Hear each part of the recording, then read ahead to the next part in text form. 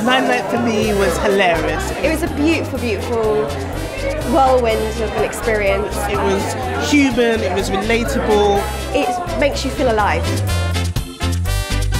Shows lots of tradition and uh, really does bring home that Caribbean culture. It really inspired me and it's something I can relate to definitely. There is so much in there. I think I'll have to come back and see it again. They just completely mesmerised me. I was taken in by all of them. Definitely recommend everyone to come and see it. It's funny, funny, funny. I need to see it again actually. I loved it so much. I know what I'm buying my friends and family for Christmas. Tickets for this show. And hopefully I get to go again.